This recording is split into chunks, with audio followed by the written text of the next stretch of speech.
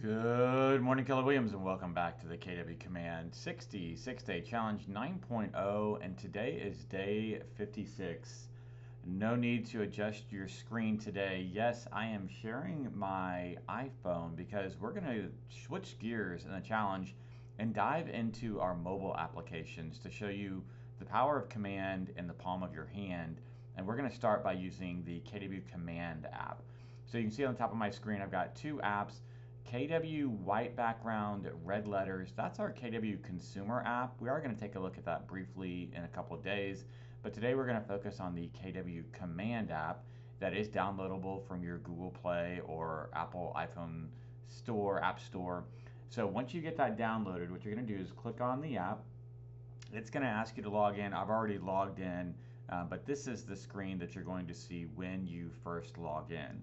So sort of as a run through of what you got on the screen, the first thing I'm going to do is I'm going to click at the very top left where you can see Pro Coach MC82. That would be your name, and there's a, a little uh, icon there on the top left. It should be your headshot. I'm going to click there first off just to kind of show you what we've got. So this Pro Coach account is set up as a team account. So this is where if you have a team, you could toggle back and forth between your individual or team account. Next up, you've got your profile. So I'm going to click on profile, and that's going to show all of the information that's being pulled out of Keller Williams Command into the mobile app. I can click on edit and change any of that if I choose to, right? So I can make updates inside the app to all of my important information there. So as an example, my website isn't in here. So let's just add that while we're here. Marty Miller dot Now this is actually our Pro Coach account, so that wouldn't be the uh, website I would tie it to. It would be selling homes in katytexas.kw.com, but that's all right. Um, so profile, make any edits by clicking on edit at the top right. If you scroll down a little bit further in that menu, you've got my business card. Now this is pretty cool. If you click on my business card, it's going to provide you with a QR code that you can have people actually scan to create a new contact in their phone with all of your information. So if anyone ever asks you, hey, do you have a card? And you have that moment of, oh no, you check your wallet, you check your purse, you don't actually have a business card, or you have one, but it's super ratty and doesn't present well. Um, this would be a great opportunity. I don't have one on me right now, but hey, do you have your phone with you? Scan this QR code real quick. It'll automatically add my contact information to your phone. You can also choose to share it. So if you click on share, then you can see you would be able to actually send a text message or an email with all of your contact information that way as well. Finally, back in that menu, you've got the Share My KW app link, another powerful tool. So I could click on that, same exact thing. I could send a text or an email, and it would say, Hi, this is, and that would be your name. Here's a link to download my KW app for a personalized search experience. And we're going to go through that consumer app in a couple of days here. Three powerful tools, again, all sort of hidden underneath that top left hand corner. Click there, you can edit your profile, you can have someone scan your business card, you can share your KW app link, or you could share your contact information from the business card link as well. On the rest of the uh, layout screen here, we're going to dive into this further tomorrow and over the next couple of days. But basically, you have a miniature version of your tasks applet.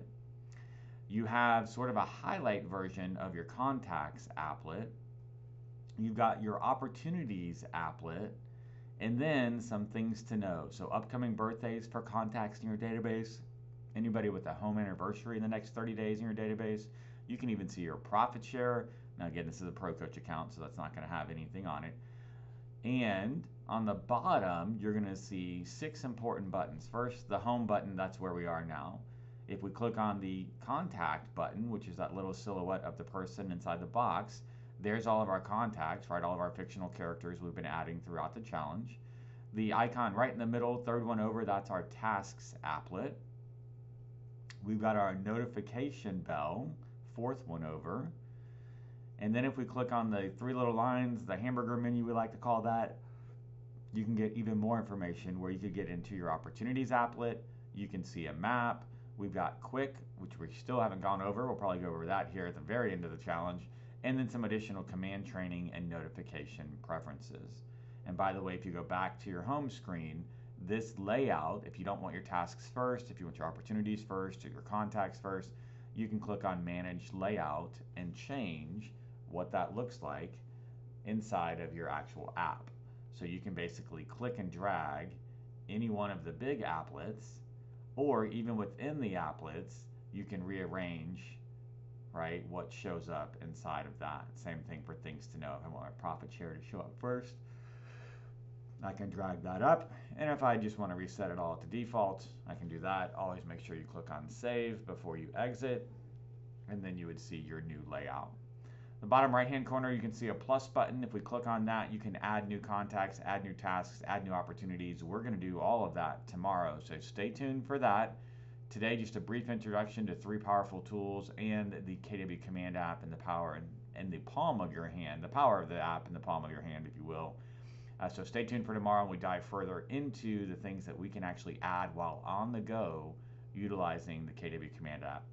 As always, guys, I hope you're having a fantastic day and I'll look forward to speaking with you again real soon.